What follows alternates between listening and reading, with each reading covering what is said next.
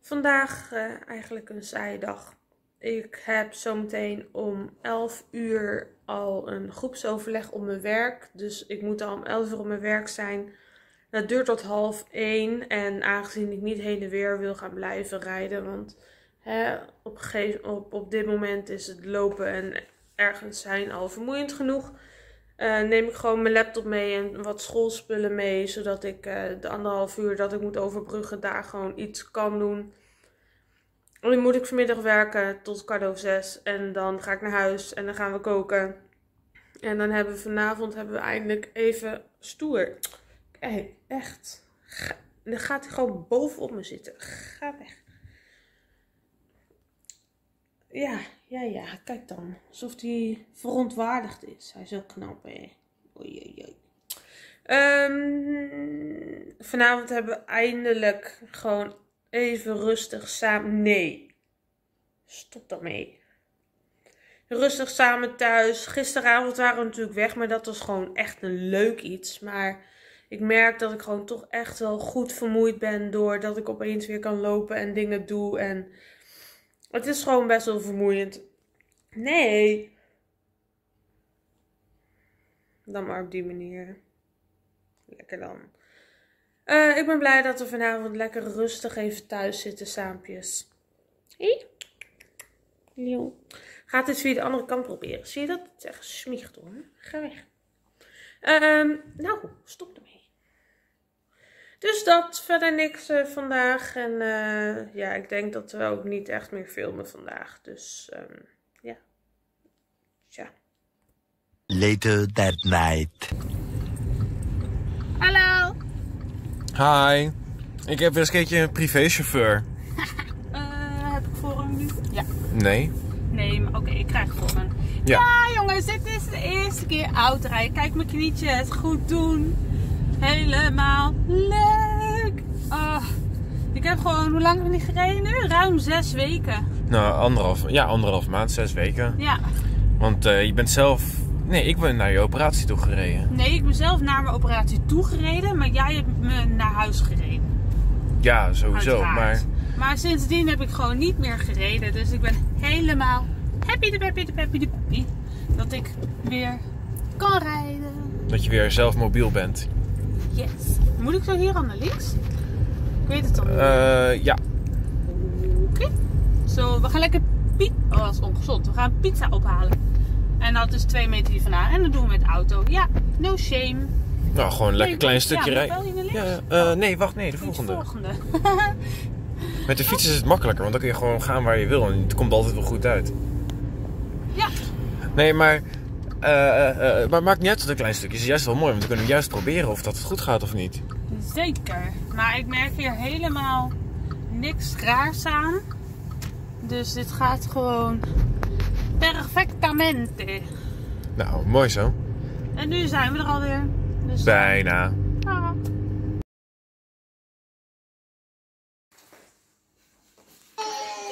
Wat nou? What are you up to? Nou, gewoon naar werk gaan. Waarom moet je those ugly clothes? Oeh. Focus met de riem.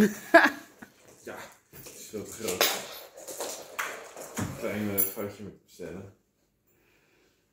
Als je maat bestelt die niet geen idee heeft wat het betekent, dan uh, kan het heel goed fout gaan. Oké, oké. Waarom zou ik nu eigenlijk jas meenemen? Weet ik veel. Want het heb ik geen jas nodig. Die mouwen zijn een beetje kort. Oh nee, dat lijkt me zo. Het wordt zo. Charmant liefje.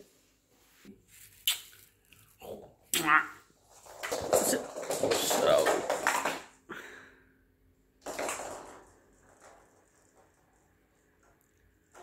Hij is zo druk hè, met die bal.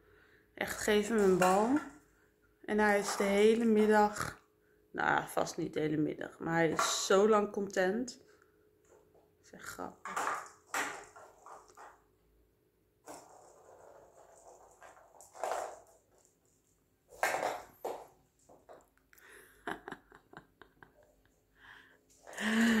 hij is schattig. Maar dat is wel het geluid op de achtergrond wat je hoort. Want hij is ernstig druk aan het spelen. Ehm, nou, jullie zagen Richard naar zijn werk gaan eh, net. Hij heeft nu dus die, eh, vind ik, echt lelijke overkleding eh, gekregen van zijn werk. Want hij werkt bij dat gemaal ergens. Is die gewoon buiten. Dus hij moet gewoon een soort van herkenbaar zijn. Nou ja, oké. ik vind het lelijk, maar goed, het is nodig. En ik ben ehm, nog heel even vrij. Ik heb vanmiddag, of eind van de middag. Nee, denk nou na. Eind van de ochtend tot begin van de middag heb ik weer een examen. Net als ik vorige week had op school. Uh, dit keer is het Engels. Engels lezen en luisteren. Nou ja, en dat is op een heel simpel niveau. Dus dit verwacht ik niet dat heel moeilijk gaat worden. Ik ga sinds een hele lange tijd weer zelf naar school. Want hè, ik kan nu natuurlijk gewoon lopen. Dus ik ga met het OV. En uh, ik hoop wel dat ik mijn verbinding haal tussen de trein en de bus. Want dat is maar vijf minuten. En ik moet een trap naar beneden. Of met de lift. En dan nog een klein stukje lopen. Dus ik hoop dat ik dat wel haal. Maar het is ook geen ramp als ik een bus later pak. Want dan heb ik het ook nog gewoon. Dus uh, ja, misschien dat ik daarna nog heel even Utrecht in wil gaan. Uh, maar misschien ook niet. En dan ga ik gewoon lekker meteen weer naar huis. Zou ik ook nog eens even een keer mijn knie laten zien? Want ik bedacht me opeens dat ik die al een poosje niet meer heb laten zien, en dan nu natuurlijk al helemaal sinds ik weer mag lopen, of je eigenlijk iets geks ziet eraan. Ja, wat je ziet is dat hij natuurlijk nog steeds niet de vorm heeft van mijn goede knie, zeg maar. Um, de hechtingplekjes genezen echt heel erg mooi. Deze die blijft gewoon nog steeds wat wat roder en dikker. Want ik voel ook gewoon hier nog steeds wel een verdikking onder. Maar dat is eigenlijk alleen bij die. En uh, verder gaat heel erg goed. Als ik hem nu kijk, nu span ik hem aan. En dan voel ik hem wel hier ietsje steken. Maar uh, verder pakt hij het lopen wel echt heel erg goed op. Ik heb ook in kuit heb ik volgens mij nog wel, ik heb nog wel verschil. Maar ik merk wel dat dit al iets aan het opbouwen is. En ik heb wel echt hierachter, dit is heel erg spierpijn. Maar ja, het heeft natuurlijk hele poos niks gedaan en opeens kon ik weer lopen. Ik heb hier ook wat spierpijn, deze merk ik. Maar hier ook, want het is opeens weer natuurlijk aan het opbouwen. Dus uh, ik had goede spierpijn. Maar qua knie ziet er best goed uit, toch? vind ik zelf. En je hoort een kat, die wil naar binnen. Zie hoe hard hij roept. Mauw. Dus ja, ik dacht even weer een hele korte knie op de update. Three hours later.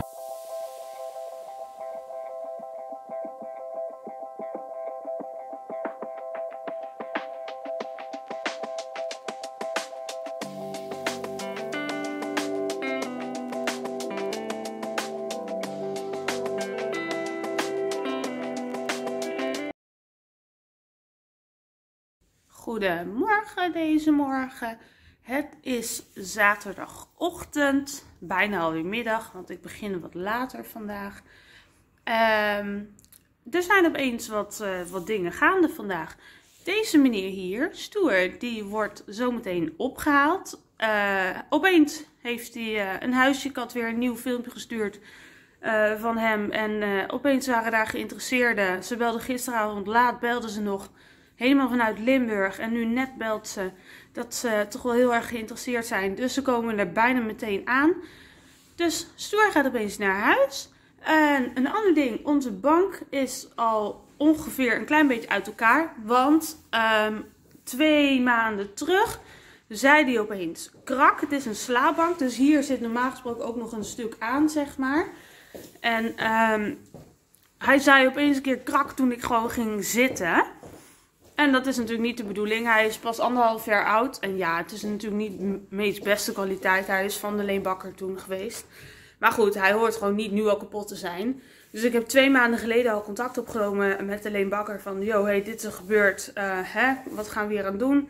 Nou ja, toen zouden ze eigenlijk iemand langsturen om te kijken of die gerepareerd kon worden. Is niet gebeurd, ik heb nooit iemand hier gezien, ze hebben nooit meer contact opgenomen, niks. Nou, later nog een keer berichten, nog een keer berichten, nog een keer gebeld. En van de week ging ik nog een keertje bellen en toen zeiden ze van, nou weet je, we, Ries die is gaan klaarmaken om boodschappen te gaan doen. Ehm, toen ging ik nog een keertje bellen. En ehm, toen zei ze: Nee, eh, ik maak meteen een afspraak. En dan eh, komen ze gewoon een nieuwe brengen. Want kijk, ik weet niet of je het kan gaan zien wat er is. Maar deze balk hier, die is En normaal gesproken zit die, ehm, ehm, dat, dat beddeel er nog op. Die heb ik nu alvast buiten gezet. Maar je zat dus gewoon vanaf hier, zat je gewoon in een deuk. En dat is gewoon niet handig. We hebben echt twee maanden lang met een krik hieronder gezeten. Ehm, zodat we toch op die bank konden zitten. En ja, dat is gewoon not done. Dus uh, ja, opeens het veranderingen. Stoer wordt zo meteen opgehaald. En uh, vanmiddag komen ze dus de nieuwe bank brengen. En deze gaat weg. Dus ik ben best wel druk bezig. Ries die gaat ook nu boodschappen doen en ook appeltaartspullen halen. Want Richard is maandag jarig. Yay! Yes. Dus uh, morgen hebben we visite. Dus druk, druk, druk, druk, druk, druk, druk. En toen waren we opeens koos, bankloos. Hoe kaal is dat? Maar dat is wel een hele goede reden om te zorgen dat het allemaal even helemaal weer spikkenspan wordt. Dus daar gaan we maar even een dagtaak van maken, denk ik zo. Dat is nou een beetje jammer dat ze het niet ook in, in elkaar zetten voor ons. Nu hebben we hier drie hele grote pakketten. Nee, deze is wat minder groot, maar drie pakketten staan. Richard is net de deur uit om te gaan werken. En ik blijf achter zonder bank en met pakketten. En ik wilde ook de vloer helemaal dweilen nog. Want hè, hier heb je nog van de oude bank gewoon die lijnen erop staan. Maar we waren ook zo druk bezig met en koken en die taart maken voor Richards verjaardag en boodschappen en alles tegelijk. En zorgen dat je goed stofzuigt natuurlijk. En uh, toen viel de stofzuiger elke keer uit, dus die moest tussendoor aan de stroom. Dus ik uh, ben hier nog niet aan toegekomen. Maar goed, mijn moeder en Kees die uh, komen zo meteen helpen als zij terugkomen uit uh, Zalbommel waar ze een keuken hebben, of keuken, jongen, badkamer hebben uitgezocht. Dan komen ze helpen om dit gevaarte in elkaar te zetten. Dus ik heb nog heel even, ga dit zo meteen even opzij schuiven, dan kan ik gaan dweilen. En dan zit ik vanavond op een nieuwe bank. Maar ik ben wel moe nu al, dus vanavond lekker rusten. En Richard die is toch pas rond een uur of uh, één thuis. Dus ik heb alle tijd. En ondertussen staat ook hier de taart in de oven. Yummy! In de proces om onze bank in elkaar te zetten. We zijn er al bijna. Tada! Dat was nog een pain in die butt we zijn best wel uh, lang bezig geweest. Echt al meer dan anderhalf uur. Maar we hebben weer een bank. Kijk, hij kan ook in elkaar nog. Hoppakee. En dan ziet het er zo uit. Poepoe, dan gaan de kleedjes erover. Ik ga hem wel weer uit elkaar zetten. Want ik ga even chillen, even opruimen. Eten klaarmaken. En dan uitrusten. Finally vandaag. Ik ben kapot moe. Het is nu tien voor half zeven en ik zit eindelijk op de bank, op de nieuwe bank. Kijk, nu is ze helemaal netjes. Met mijn eten en mijn koffie. En nu kan ik eindelijk, sorry voor dat licht eindelijk lekker de rest van de avond chillen. Deze bank zit echt wel gek, want ik zit opeens heel, heel hard, zeg maar. En die vorige die uh, begon toch wel best wel door te zakken. Poepoe, dat was mijn dag wel. De hele tijd maar rennen, vliegen, continu overal mee bezig zijn. opschieten, haasten, alles bij elkaar. Maar ik zit en ik ga lekker chillen vanavond totdat Richard thuis komt. Weer pas om 1 uur, want hij is gewoon werken tot 12 uur. Chill.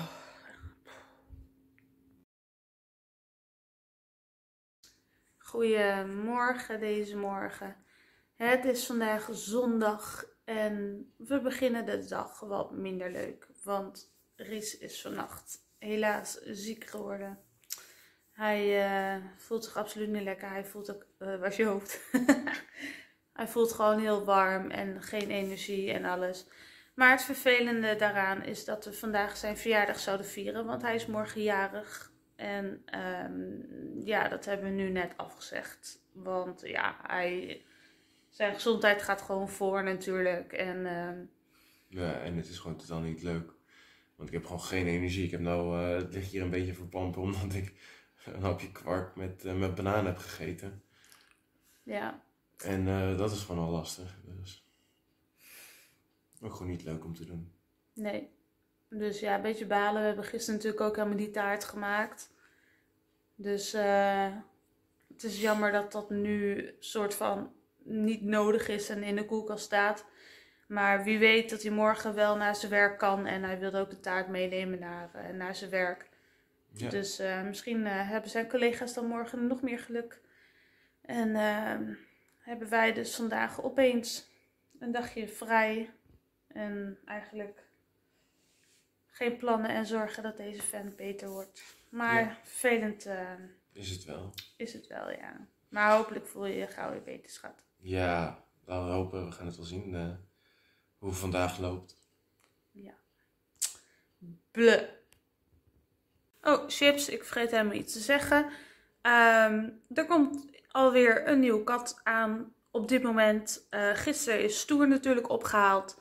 En um, ik kreeg meteen een bericht van, oh heb je misschien ruimte? Want um, ze hebben weer een hoogzwangere poes die iemand wil opnemen.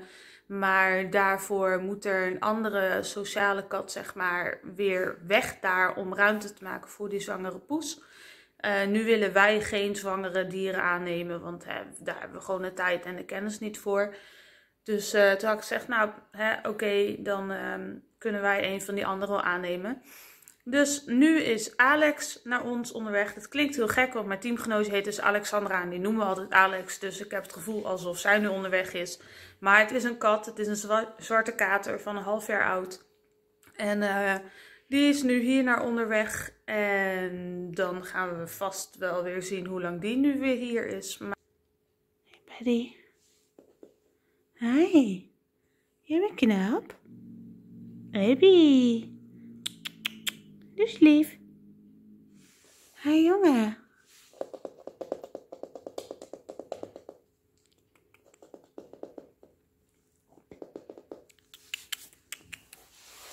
Joh, je bent wel knap, hè? Goed nieuws. We gaan de visite vanavond toch even een uurtje laten komen. Want uh, Ries heeft een paar uurtjes kunnen slapen en tussendoor wat kunnen eten wat op zich goed viel, toch? Ja, redelijk. Af en toe, uh, ik eet wel heel erg langzaam en zo. En ik eet heel erg weinig, maar nou ja, het is iets. Ja, daarom. En uh, Richard, zijn vader, die gaat morgen voor een week naar Amerika. Ik ben super jaloers. Hij gaat voor zijn werk daarheen.